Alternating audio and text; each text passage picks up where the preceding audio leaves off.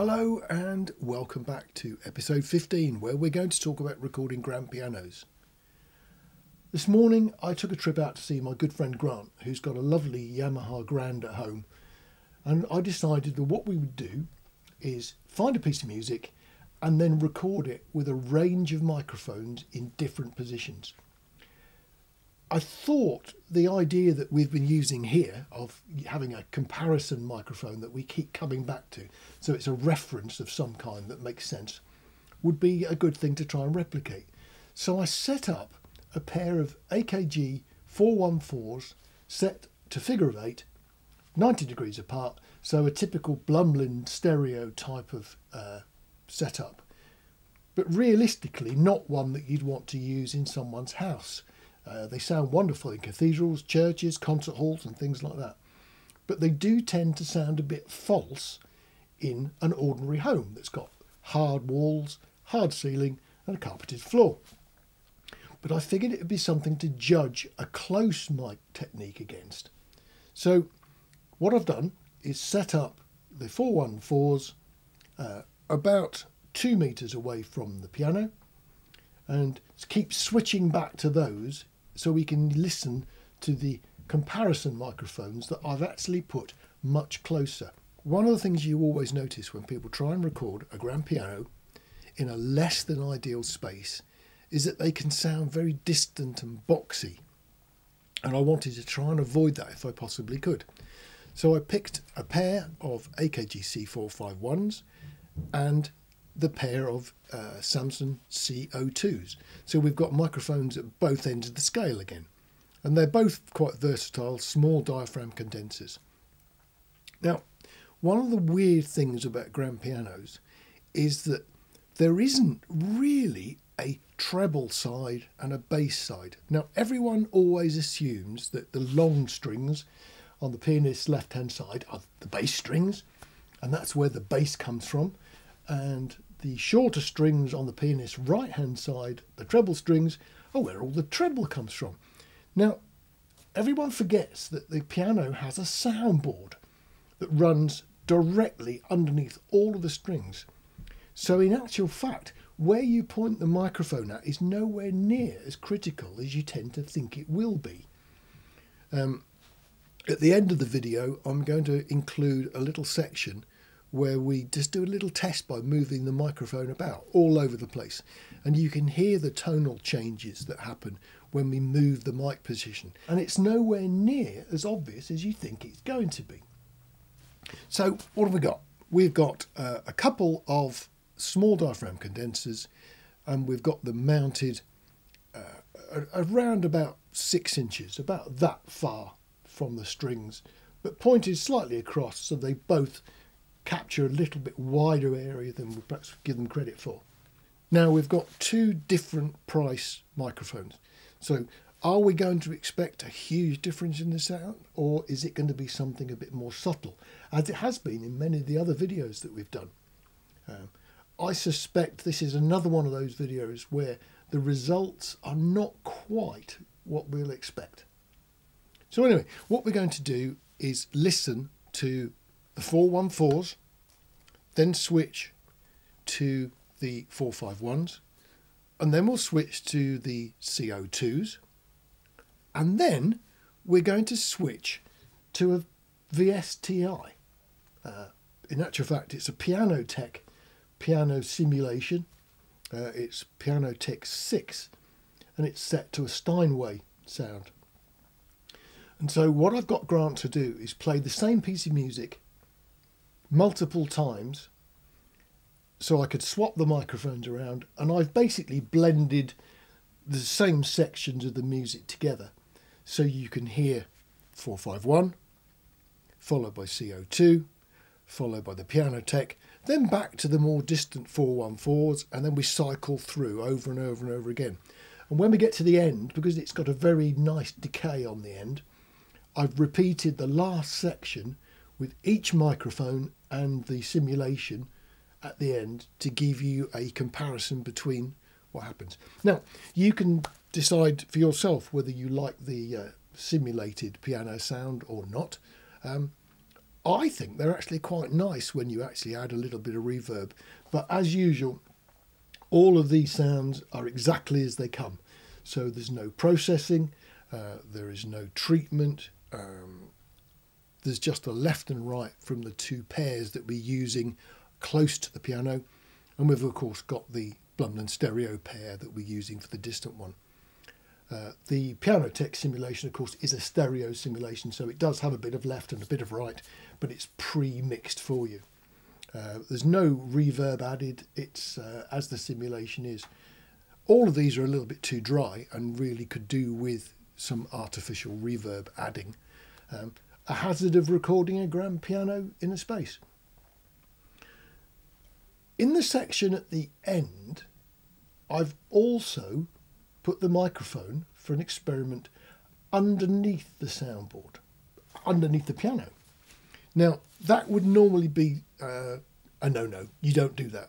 If you read anything about recording grand pianos, you will always be told you don't put a microphone underneath the soundboard of a piano because it sounds horrible. Well, I've done it just so you can have a quick listen at the end. And what I do, I asked Grant if he could play the piece one more time, and I handheld the Neumann 103 and I moved the 103 about while he was playing. So it's changing position from moment to moment. You can see in the video where it is and you can see the sound that you can hear. Um, you'll also see me dip down and hold it underneath.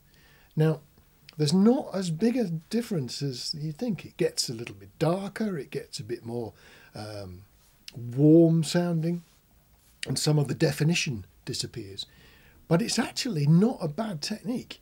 Uh, I've never tried it, but I wonder if a microphone underneath paired with a microphone up on top could actually be a valid thing to try. I don't know. Uh, it's it was a thing that I just decided to do on the spur of the moment to see what it would sound like. So that's what I did. So here are the sections that we recorded this morning, so you can have a listen and see what you think between them.